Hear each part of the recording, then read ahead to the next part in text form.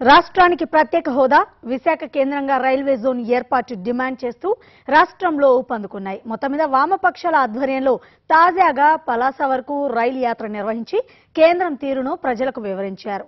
CPI CPM Loksatta Janasena నాయకులు Maddilapalem junction నుంచి పాదయాత్ర నిర్వహించారు. ప్రత్యేక హోదా విభజన హామీలు అమలు చేసే వరకు పోరాటం చేస్తామంటున్న వామపక్ష అఖిలపక్ష నాయకులతో మరిన్ని వివరాలు మా ప్రతినిధి రమణ అందిస్తారు.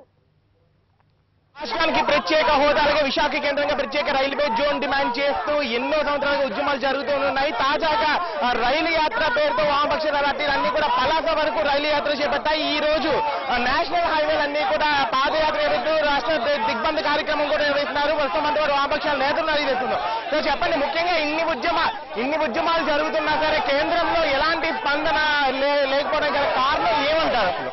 కేంద్రం కావాలనే ఆంధ్రులకి నమ్మక ద్రోహం చేసింది. నరేంద్ర మోడీ నరేంద్ర మోడీ రెండు వేల పద్నాలుగు ఎన్నికల్లో నమ్మించి నమ్మించి ఈరోజు ఆంధ్ర రాష్ట్ర ప్రజల్ని నమ్మక ద్రోహానికి ఆంధ్ర రాష్ట్ర ప్రజలకి నమ్మక ద్రోహానికి పాల్పడ్డాడు. అందుకనే అందుకనే మేము దానికి నిరసనగానే ఈరోజు ఈ పోరాటాన్ని కొనసాగిస్తా ఉన్నాం.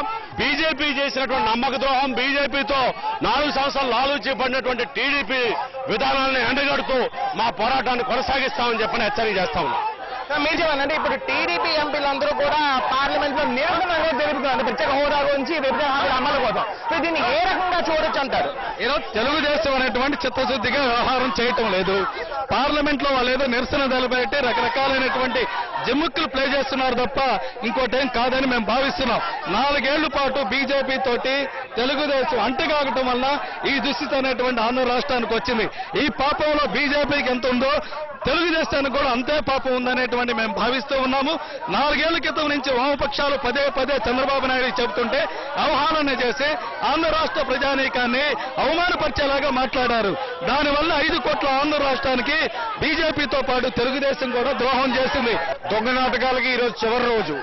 ఈ దొంగనాటాలకి తెరవేయడం కోసమే మేము ఈ రోజు జనసేన అధినేత పవన్ కళ్యాణ్ పిలుపు మేరకు వామపక్షాలతో కలిసి పోరాటం ప్రారంభించాం.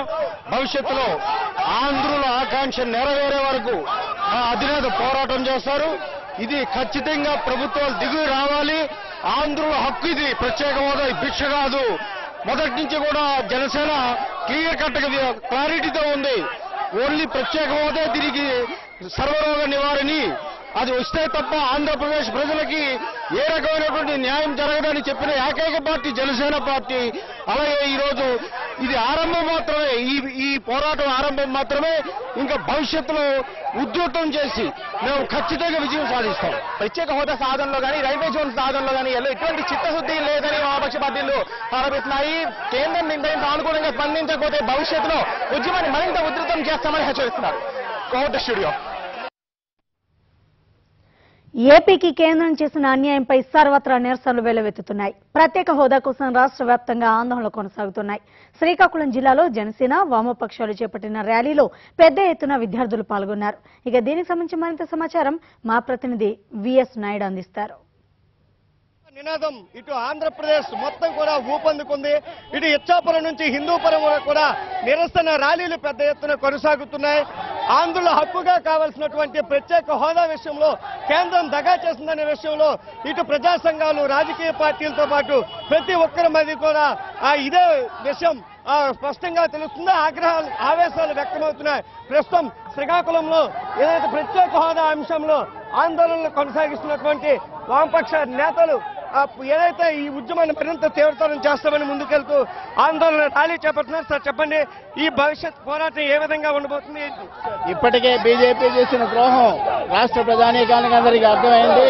పార్లమెంట్లో అవిశ్వాస తీర్మానం మీద కూడా చర్చ జరగకుండా అడ్డుకోవడం ద్వారా మొత్తం పార్లమెంట్ని నిరవధికంగా వాయిదా వేయడం ద్వారా భారత ప్రధానికానికి అందరికీ అర్థమైంది. బీజేపీకి వ్యతిరేకంగా ఈ రోజు ప్రత్యేక హోదా సాధించాలని చెప్పి జనసేన సిపిఎం సిపిఎం ఒకటే.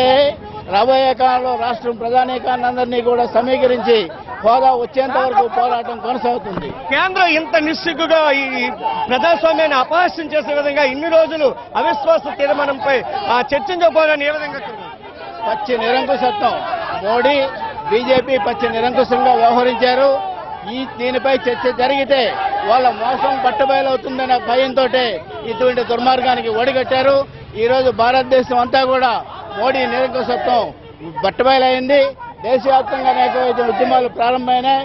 ఆంధ్ర రాష్ట్రంలో కూడా బీజేపీకి అంతం పలికే విధంగా రాబోయే కాలంలో ఉద్యమం కొనసాగుతుంది. జనసేన తరఫున మీరు కూడా ఇటు వామపక్షాలతో పెద్ద ఎత్తున ఆందోళన కార్యక్రమాలు చేస్తున్నారు.